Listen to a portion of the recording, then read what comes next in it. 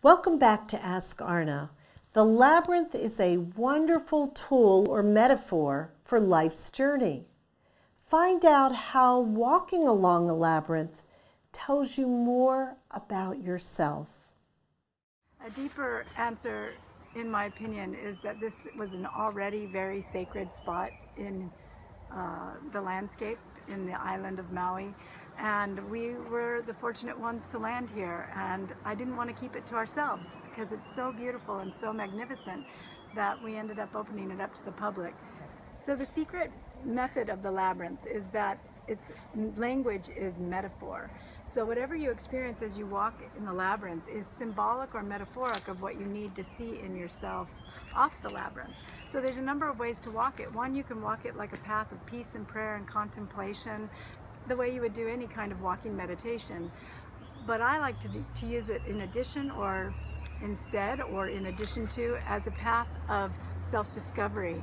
And you're not walking the labyrinth to learn about the labyrinth, you're walking the labyrinth to learn about you. And so as you walk it, if you're self-observant and you notice what you notice, you'll see that what you do on the labyrinth is also what you do off the labyrinth, but this gives you a confined space in which to practice doing it differently. So if you're impatient on the labyrinth, it gives you a place to see what happens when you let go of your impatience. Or if you're judgmental on the labyrinth, like why is that person walking it that way? Or what's that brick doing out of place?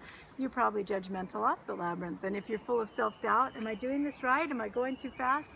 You're probably full of self-doubt off the labyrinth as well. So it gives you an opportunity to see what you do and then make decisions as to whether it's really serving you or not. And ultimately brings you into a place of being present, connected to your authenticity, and able to access the resources within you for managing all the things around you. So for me, the labyrinth is a perfect metaphor for reminding us that we need to bring ourselves back into the center. And I call accessing our soul so that we can access solutions to all that goes on around us. And Einstein said, you can't solve problems from the same kind of thinking that created them.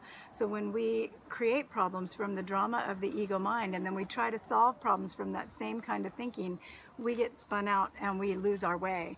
And if we simply stop and drop in and find our centers, find our authentic selves, and connect to that soul aspect, we then see uh, a complete different perspective on what's going on around us and we bring forth different tools and skills for managing all of that. It's the different mindset that Einstein was talking about.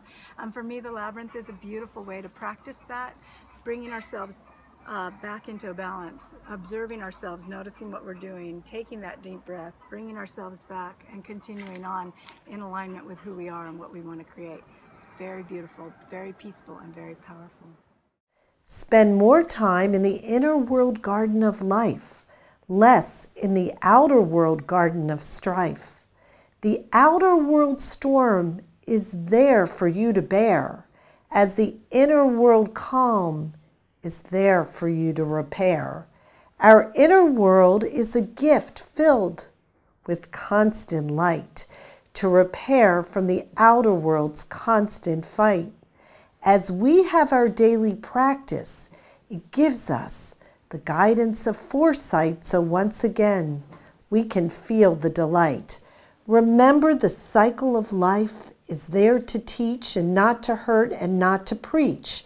But from the inner world peace, we emerge and experience the most important gift of all outer world peace and living our true call. There is nothing more relaxing than a beautiful Hawaiian sunset.